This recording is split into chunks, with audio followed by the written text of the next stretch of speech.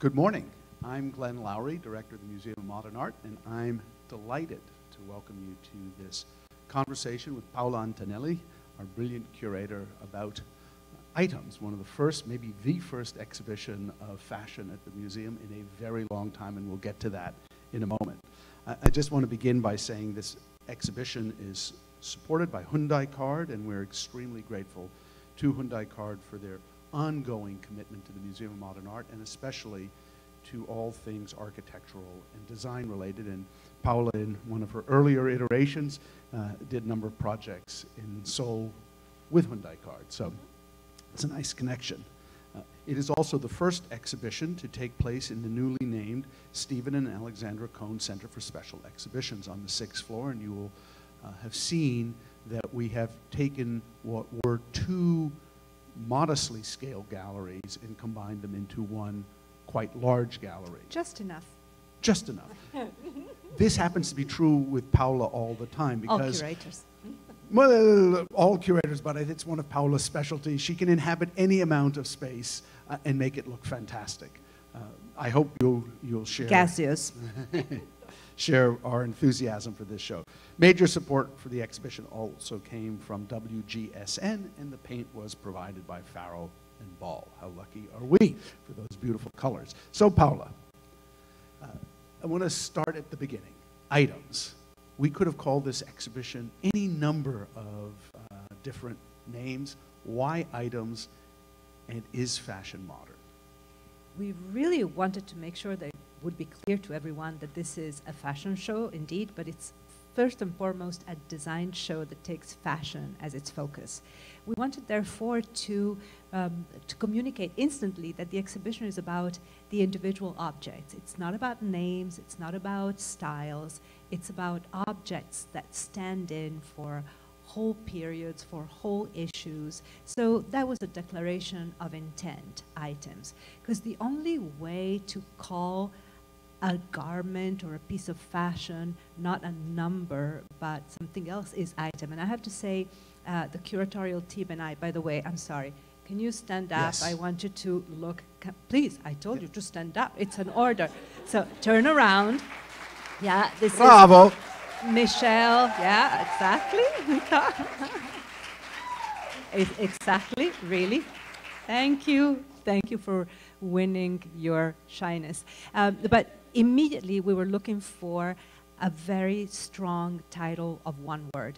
And what we did right away is we put together an advisory committee and then we test run the whole um, series of titles with them. And I have to say, it really resonated with fashion people. Fashion people are jaded, especially when you try to put names on them. Items, for some reason, really worked. The subtitle is Fashion Modern is because we wanted, number one, to let people know that it is a show about fashion. And number two, we wanted to connect superstitiously to the only other fashion show that ever happened at MoMA, which is Bernard Rudofsky's 1944 Are Clothes Modern question mark. Hence. So every 70 years, please come back for a major fashion statement from the Museum of Modern Art. With a question mark. With a question mark. Um, but more importantly, you put together an advisory uh, team, and I think it would be interesting to talk a little bit about that remarkable group of people and what you challenge them to help you with. It's really a remarkable group of people. Many of them, unfortunately, right now are in Europe because it's the fall fashion kermesse. But uh, it's a group that is made of scholars, journalists, designers. The scholars range from Penny Martin, who is also a journalist. She's the founder of The Gentlewoman, to Valerie Steele, who's the director of the FIT Museum. Amongst the designers, Shane Oliver, used to be Hood By Air, now it's Helmut Lang. Amongst the journalists, um, our great pals at Paper Magazine, Kim and Mickey, Kim Hastreiter and Mickey Boardman.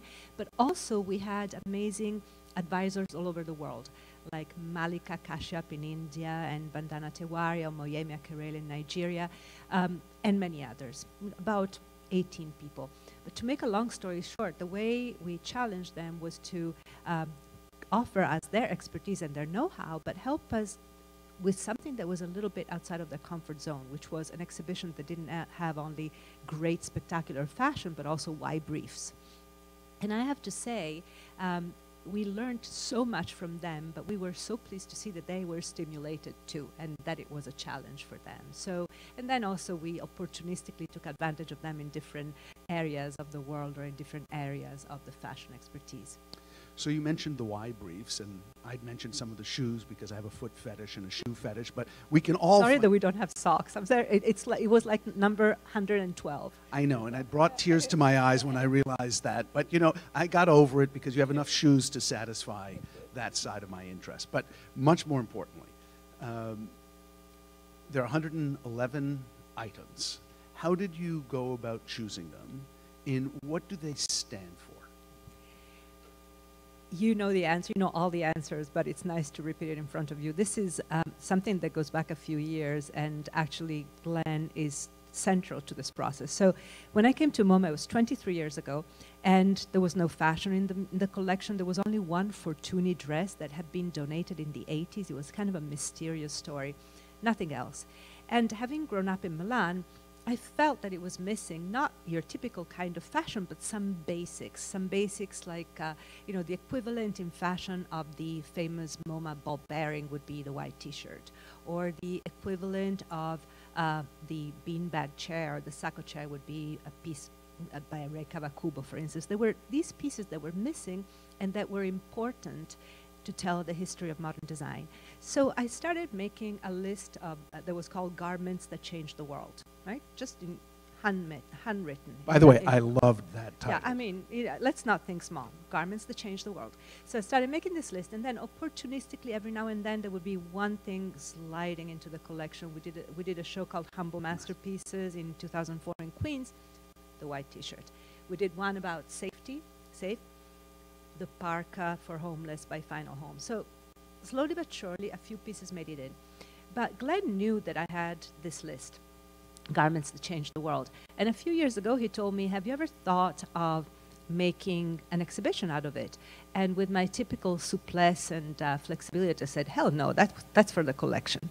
And then, after all, he's my boss, I started thinking about it. And uh, it, I have to say, it really is amazing how it blossomed into an exhibition. The spine is the original garments that changed the world. And whenever you start with a central spine, then you start putting material onto it, you start padding it, and then you start. I, I, spent a little too much time with the dressers upstairs, but you pad it and then you take off and you sculpt it. And also, all together with the curatorial team, we, um, we had different agendas that we wanted to fit in the exhibition geographies, cultures, subcultures, politics. And uh, that's how we came to the list. Originally, it was 99, then we uh, went up to 111 because we needed more, but the original list is was about 400, as I'm sure you could come up with if you spent an afternoon making your own list. Well, it seems to me that one of the things this exhibition does is it invites a public to continue the list. So if here are the first 111 items to consider, there are presumably hundreds, if not thousands more. And I, I like that aspect, that this is not a closed list, but rather an invitation to think about the way in which fashion is constructed. And from that, I want to move to the way you've looked at types, prototypes, archetypes, stereotypes, that there is a dimension here of trying to understand how something enters into our consciousness as an item of importance. So, do you want to talk a little bit about the kind of infrastructure, the intellectual infrastructure to some of the exhibition? Thank you. Yeah, the way design is represented at MoMA is ideally in Bauhausian uh, terms the in, in the representation that made it influential into the world. To give you an example, when you have the Beetle, you know, the car, you, know, it's MoMA, so we could have acquired the pre-World War II split windshield historical piece. We opted instead for the 1959 one because that's the moment when the Beetle becomes the car of the 60s. We do the same also for fashion, for instance. And to do that, we, for each single item, we wanted to find the stereotype. And the stereotype is very scientifically and scholarly explained in this way. Close your eyes, and if you think of that item, what do you see? You know, but really, that's the proof in the pudding. We chose, to give you an example, the sari even though um, we are not Indian, we had a lot of Indian friends, and I personally traveled to India. We were asking all our Indian friends, if you close your eyes and you think of a stereotype that you can live with, what is it? So, in this kind of empirical way, we chose the stereotypes. But then, MoMA also believes that the past is very important for the formation, for the making of modern and contemporary. So we also wanted to look at the archetypes. No, nothing has ever been invented yesterday. There's always a predecessor. So the archetypes are displayed in the exhibition either by slideshows or images. And then in a few cases, when either new technologies or new needs, um, social, political, technological, emerged, we also commissioned new prototypes. You can see it, for instance, in a beautiful version of pantyhose for people on wheelchairs by a great designer called Lucy Jones that works on people with people for, that have disabilities. Or you can see it in the amazing um, re thinking of the chinos, of the khaki dress, by a group of Johannesburg based designers and artists called the Sartists. We have really tried to address our most urgent uh, needs, you know, the need to rethink also geographically certain items with these prototypes. So many of the items that you've decided to identify, at least in the first list of 111, are culturally charged items, right? There's the hoodie, um, the bikini. Talk a little bit about the sort of social and political dimension of identifying certain things that we wear mm-hmm. and treating them as design objects. You know, in Italy, they teach you that everything that is not your family is politics, and uh, I, I, kind of I trained myself that way. So I, That's I see. why you're so good. I, I see politics also in the Breton shirt, you know. But of course, there are some items in the exhibition that are immediately political. Um, a year ago, we put Colin Kaepernick's jersey in the checklist. It's not something that was done last week. And it's amazing to see what happened to it now. And the hoodie, of course, the hoodie is one of the most important items in the exhibition from all viewpoints, but especially politically. Um, the hoodie started out, well, of course, it goes back in history, but in the incarnation that we know, it to, that we know today, it was 1930s. It was to keep athletes warm. And then it progressively got adopted by, you know, cold storage workers, athletes in college, their girlfriends, and then in the 1980s, kids that wanted to skateboard in the city and not be seen. You know, so it has this uh, implication. It's extremely functional and protective, and we like to say that it gives you the false impression of being invisible. It's like when a child keeps the hands in front of the face and thinks that dad and mom cannot see him. Um, but it's a double edged sword because we know what happened. You think you're invisible, other people think you're threatening, and then tragedy strikes. So the simplicity of these absolutely functional garments that, because of history, become invested with so much power is a marvel. Um, and we want people to come into the exhibition recognizing that anything that they wear anytime is, can be a symbol, and a symbol that is world changing. So let's take a moment and turn this over to all of you if you have questions, because this is such one of these topics that we're going to go on for and can go on forever about, but we want to make sure you all have an opportunity to ask Paola what might be on your minds. By the way, behind us is a proof in the pudding, the bikini, which people think became outrageous only in the 20th century. Look, this goes back to the beginning of the Roman Empire. Yes, please. Uh, um, I noticed that some some things had um, multiple versions: the black dress, the suit. Um, what what made you kind of decide to show breadth of options for those? Well, when you think of the little black dress, it's a concept more than an item in, unto itself. So, in order to really define the concept, which is the color remain constants, the silhouette changes, we needed to show more than one. And we decided to go with an excursus through history. And in this case, you know, Stephanie Kramer, the, our resident uh, fashion historian, was really strong at that. We just punctuated the history with all these different silhouettes that kind of gather around the uh, importance of the dress.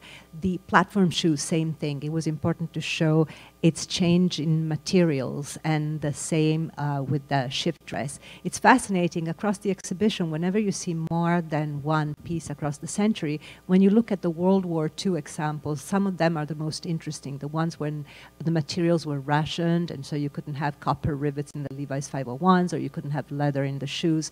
So those are quite important to tell the history of a type. Yes, please. Uh, oh, we'll go back there and then we'll come down to you.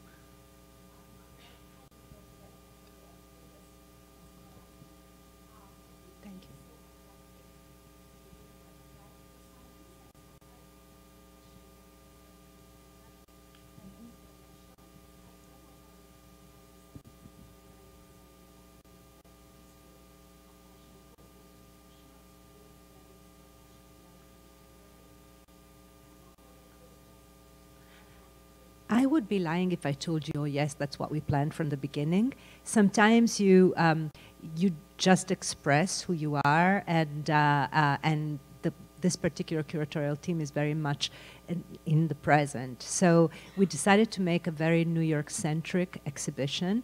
And when I say New York centric, I mean not that it's all about people in New York City, but that it has the character of New York City. So this kind of know it allness attitude and also a healthy curiosity and uh, a certain arrogance. So I guess that, um, that, that kind of transpires. But um, I have to say that the curatorial team is all made of young women, except one intern, Oliver, that also is a young man and an honorary woman. And, uh, and we're all pretty much um, brought up here, with some exceptions. I, I, I might just add, because from my perspective, what I certainly wasn't expecting, uh, and nor would I have ever expected it with Paola, but I wasn't expecting it in general, was an exhibition on fashion that had a historic dimension. For all sorts of reasons, this institution has not engaged with fashion qua fashion on anything remotely like a regular basis if we do these kinds of exhibitions once every 70 years. I hope the next one will happen much more rapidly.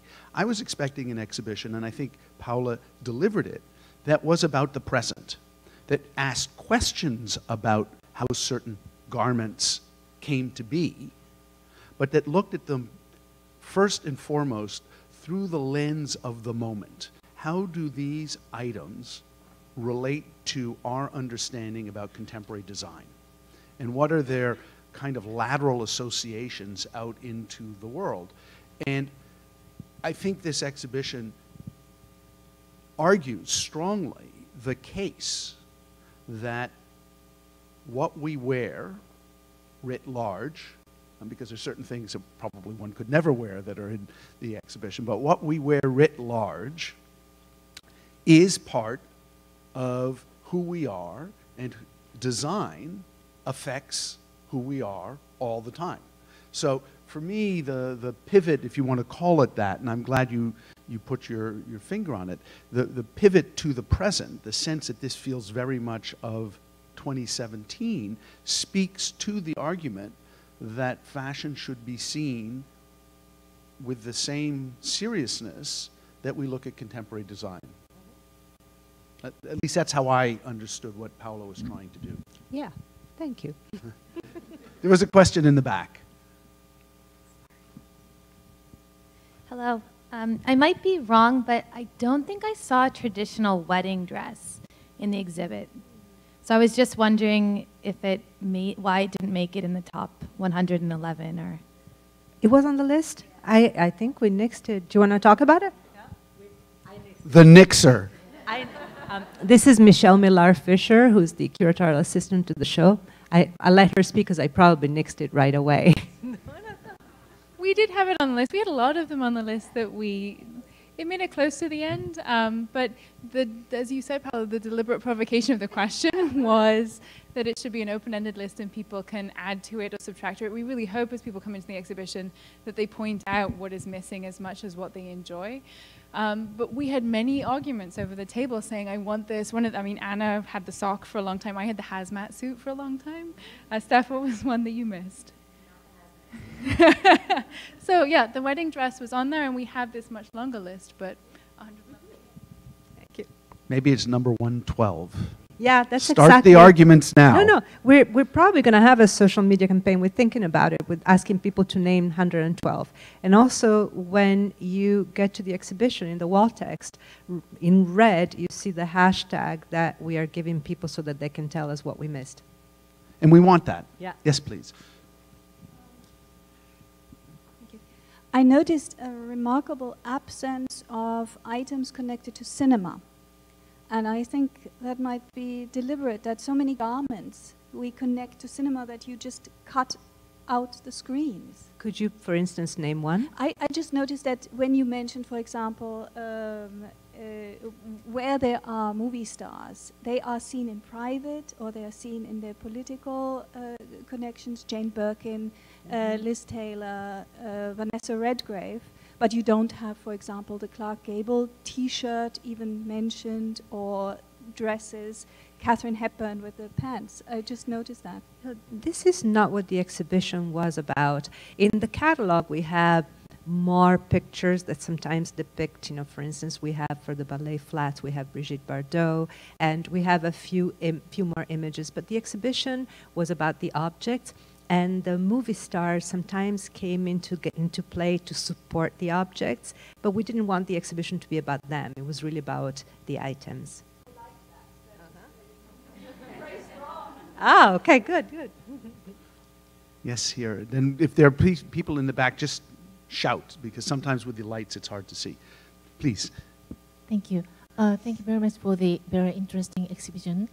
Um, I'm sure that it was very challenging for you to choose uh, one ob- one item among the many choices, and uh, I'm sure there are people who will say, you know, I would, you know, chosen different item.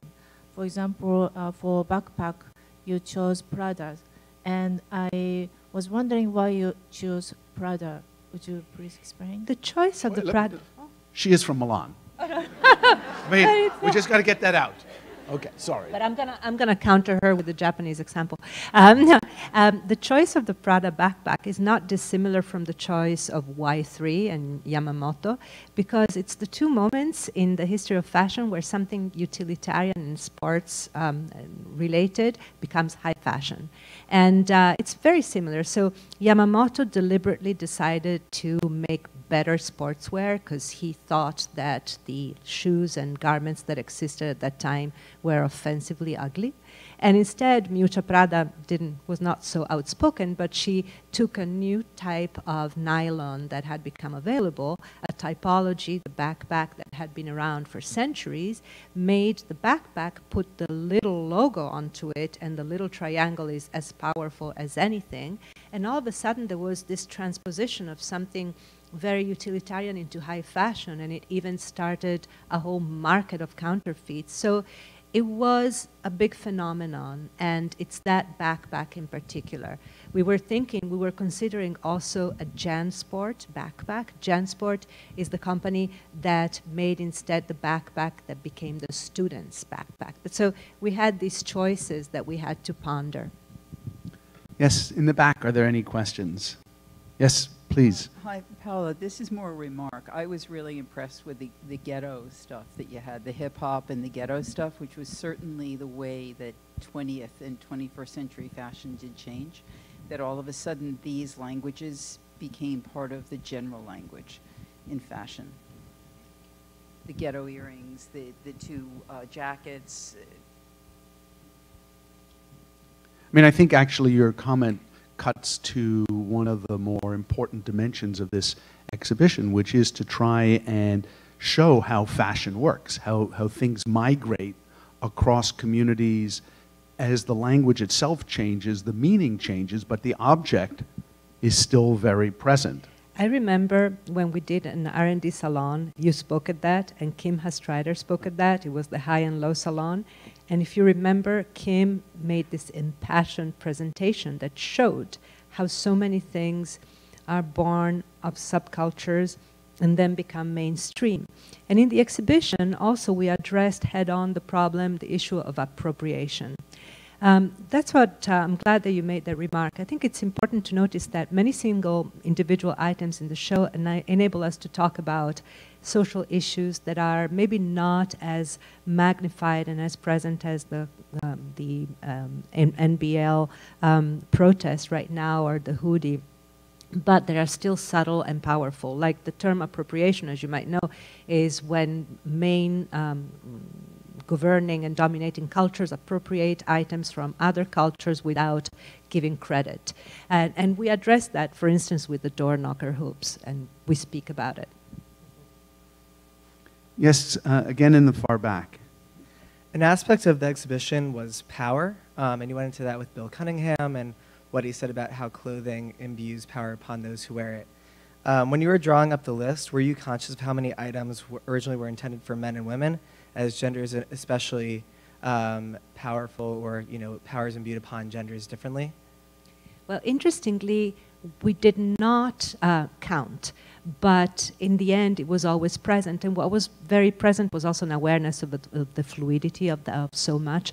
And when you talk about power, I want to bring back also Glenn and this idea of the binary.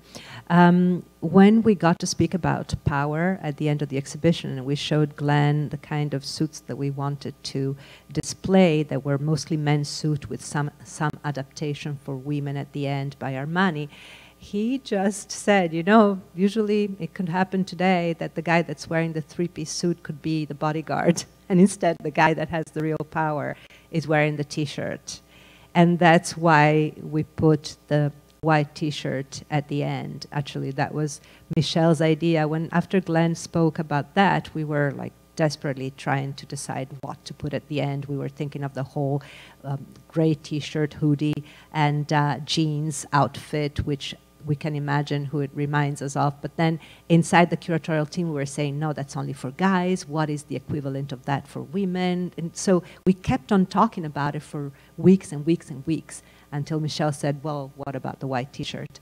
But so, um, yes, we thought about it, but without counting.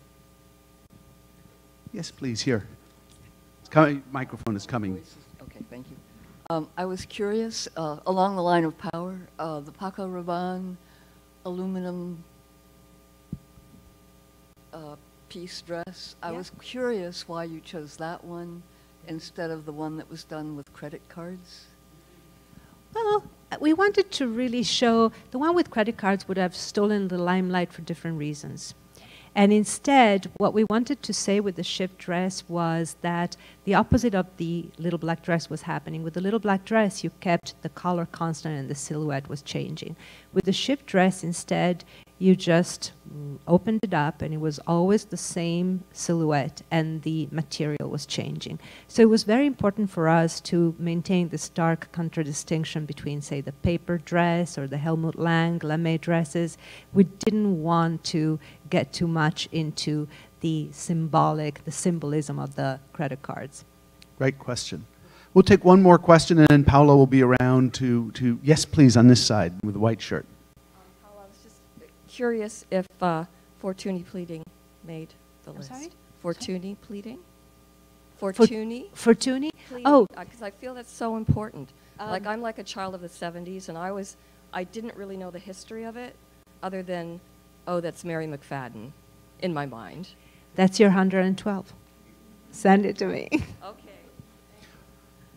Thank you all. Keep building those lists. Send them in to us. Uh, let's see if we can get to 150 uh, by the end of the week. Uh, Paola, Michelle, and everyone who worked on this exhibition, thank you so much for an thank absolutely you, insightful project. Thank you.